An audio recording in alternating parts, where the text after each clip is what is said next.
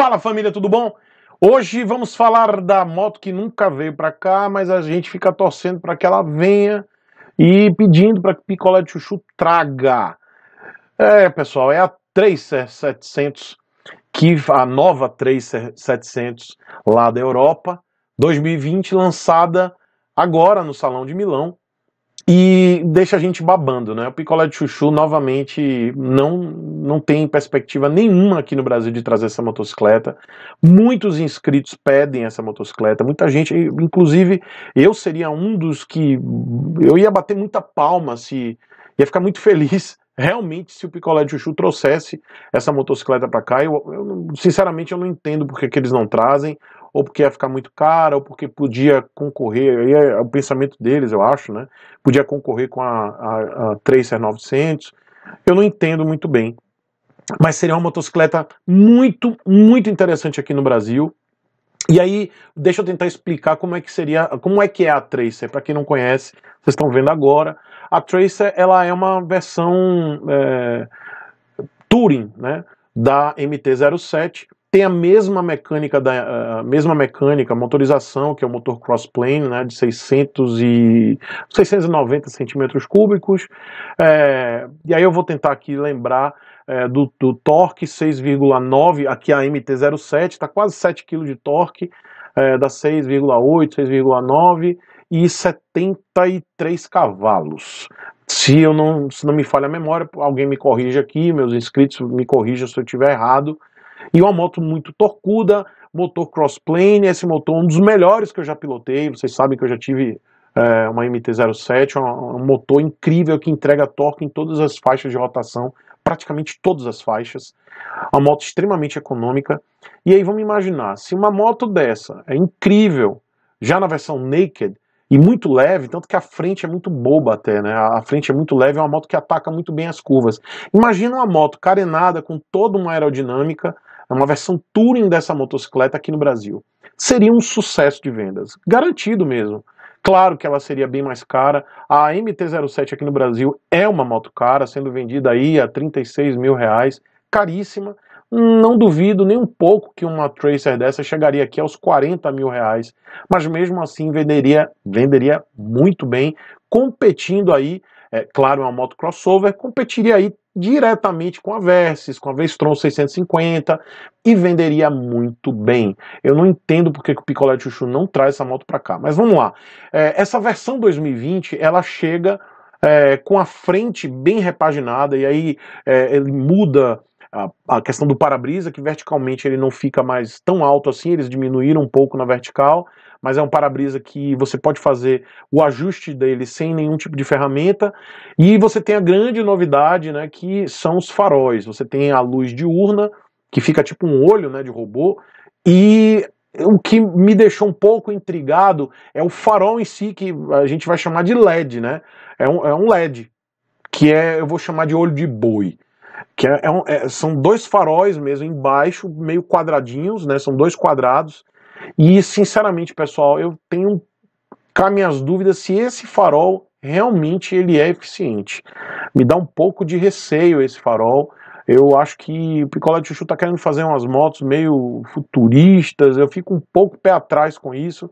Eu sei que o pessoal assistiu esse vídeo aqui da nova MT-03, muita gente dizendo que eu sou doido, e eu achei legal o debate, muita gente dizendo a moto é linda, eu compraria, eu falei que eu não compraria, que eu não gostei, um cara de Bumblebee, é, e a mesma coisa me veio uma, um pouco estranheza quando eu vi essa Tracer 700, mas não, eu não achei tão feia assim, tá? Digo aqui para vocês, achei bem, bem sutil, é, a frente, tá parecendo muito com a R1, Inclusive os faróis diurnos, né, que são aqueles dois olhinhos em cima, é, ficou, ficou bem elegante, ficou bonito. O que me dá o receio é realmente uh, o bloco óptico do farol mesmo, né, do, do, do LED, se é eficiente. Me dá um pouco de receio, mas eles estão investindo bem, tanto que a Teneré 700 vai vir com um tipo de farol parecido ou igual a esse, E vamos ver, né? Vamos ver se realmente é eficiente. É, várias entradas de ar novas, né? Eles mudaram um pouco a carenagem, de, dá mais aerodinâmica e colocaram também suspensões dianteiras com ajustes, tá? De pré-carga. Bem interessante isso, porque na MT-07 você não tem isso, é uma moto mais espartana, você não tem esse pré-ajuste. É, eles melhoraram também a suspensão traseira, assim como fizeram com a MT-07 nova Aqui veio aqui para o Brasil também. E é uma, fora isso é a mesma coisa, tá, pessoal? A mesma coisa, não mudou muita coisa, banco, a mesma. tudo igual. Tá? Lá na Europa, essa motocicleta é vendida aí na conversão direta cerca de 38 mil reais na conversão direta. Então a gente dá para ter uma ideia mais ou menos aí que ela vai chegar, se ela vier para o Brasil, viesse para o Brasil, se o Picolé Chuchu acreditasse e trouxesse essa moto para cá, ela chegaria aí na faixa dos 40 mil reais. Bom, vamos lá. É, tio Chico, você teria uma moto dessa? Claro que eu teria. Eu, eu ficaria bem balançado, é, visto que eu hoje eu me interesso muito mais pelas crossover do que por uma trail puro sangue tipo a, a Teneré 700. É uma moto que realmente não me encheu os olhos, mas aí, galera, é a minha opinião, tá? É uma moto que eu, eu, eu não fiquei, tanto que eu falei nesse vídeo aqui, a Teneré 700 é uma moto que tem pouca eletrônica, não gostei. Agora, claro, tem muitos inscritos, muitos motociclistas que preferem exatamente isso, menos eletrônica, para que você sinta mais a moto, é, né, o seu controle na motocicleta, e a galera do off-road, que vai adorar, vai amar a Teneré 700, que eu não duvide, tá? Vai chegar aí salgada, na faixa dos 40 paus. Esses mesmos 40 paus que você pagaria supostamente numa Tracer 700, vocês, vai, vocês vão pagar numa Teneré 700 sem nada, sabe? Eletrônica zero, caríssima. Tá? É, é, isso que eu acho, essas inconsistências do picolé de chuchu. Paguem para ver, vocês vão ver. Vai chegar por 40 mil reais essa Teneré 700. Não vale. Não vale 40 mil reais, tá? Agora, uma Tracer vindo para cá, com toda essa tecnologia, porque tem diferença, vamos lá. Painel, painel LCD, eles melhoraram o painel, tá? Não é TFT, eles não seguem aí uma tendência. Colocaram um painel é, LCD, um painel embutido na carenagem, ficou muito legal. Eles melhoraram o painel. Eu já achava o painel da MT-07, acho, um dos melhores, um dos mais bem legíveis. É, e eles aperfeiçoaram esse painel, ficou muito bonito mesmo. É, outra coisa que eu acho muito bom nesse motor crossplane, a economia. Eu, com a minha antiga MT-07, eu fazia 26 km por litro. Claro que na tocada tio Chico. Imagina essa Tracer é, com toda. Com, claro que ela, ela, ela vai pesar um pouquinho mais porque ela tem carenagem, mas eu não duvido que ela fizesse aí na faixa dos 24 km por litro. Seria uma moto interessantíssima. Eu espero que o Picolé de Chuchu repense essa estratégia aqui para o Brasil, não traga somente uma moto que vá atender somente a um nicho, né? Pessoal do off-road, que é a Teneré 700, eu sei que tem muita gente que está aí na ansiedade, esperançoso para que essa moto chegue logo. Ela vem para o Brasil, tá? Vem sim, vem cara, uma moto pelada, uma moto que não tem eletrônica nenhuma, mas vai vir como se tivesse, preço de como se tivesse muita eletrônica, mas eu acho que merecia sim a, a Yamaha trazer para cá uma Tracer 700 para atender o público crossover, um pessoal que quer mais on-road, né? Um pessoal que não, não curte botar a moto fora de estrada, como é o pessoal que vai realmente, é, que a Teneré 700 vai atender, tá?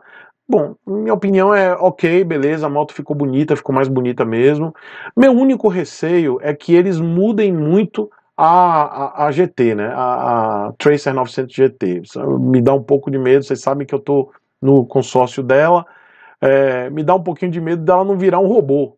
E, sei lá, galera, eu fico um pouco receoso. Vocês sabem que eu gosto de moto com cara de moto, e aí fico com medo. Já fiz o, o consórcio dessa zorra e vai que ela vira um robô, vira um Transformer. E aí? Deixa aqui seu comentário. O que, que vocês acharam da Tracer 700? O que, que vocês querem? Vocês querem essa moto aqui? Deixa aqui o comentário, hashtag Picolé de Chuchu traz a Tracer 700. É, deixa aqui o comentário de vocês. Vocês gostam de moto Transformer? Vocês preferem moto com cara de moto? Deixa aqui nos comentários. Me sigam lá no Instagram, promoções todos os dias dos meus patrocinadores, tá? Também acesse lá www.chicosepulveda.com.br, meu site de rifas, e aqui no canal, vídeos todos os dias a partir das 7 da manhã. Tá bom? Deixe seu joinha, se inscreve aqui no canal, um beijo para vocês e deixa sua opinião. Você gosta de moto Transformer? Beijão, pessoal.